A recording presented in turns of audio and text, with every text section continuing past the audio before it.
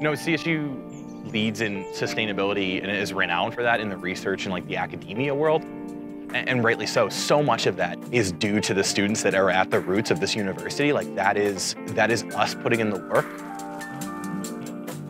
I don't think a lot of student bodies in this world can really say that they put the amount of energy and heart into it that we have.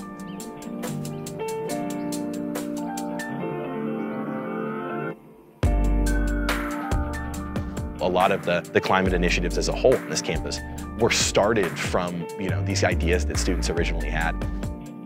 The funding of Lory Student Center arrays are, are a really fantastic example.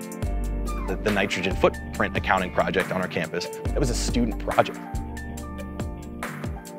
We are a solutions-focused place. We are a solutions-focused student body projects, the initiatives, the efforts that students put on on a campus like this and, and all across the world, these little projects add up. Like if I woke up every morning and I was like, I'm gonna reinvent the solar panel, that's impossible for one person to do, but I can go to the beehives and I can lay down some mulch or like plant some, some flowers.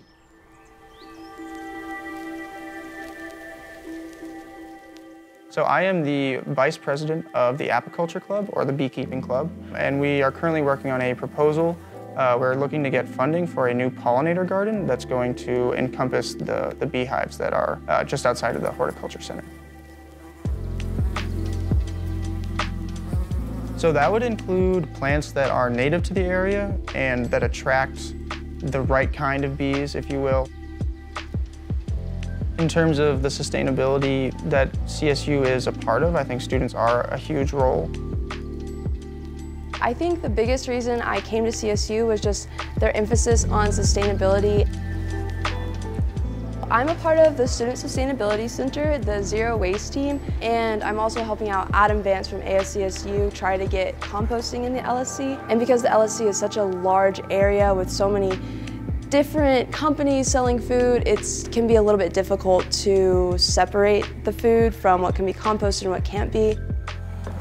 One of our biggest things is to educate the students, get them excited about compost and explain how that is just such a much better alternative than throwing away all this food.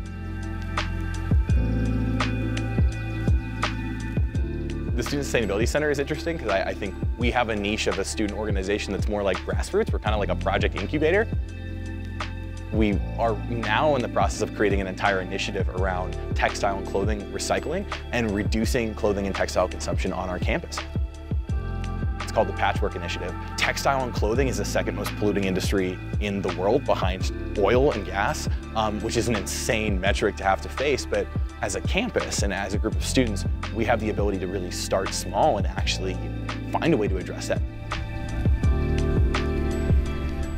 The reality of why sustainability is an issue that's fallen on our generation is it seemed overwhelming, it seemed insurmountable.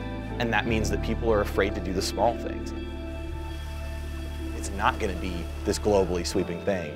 It's going to be the blood, sweat, and tears of, of students who think big enough to know how intense the issues are, but are humble enough to start small.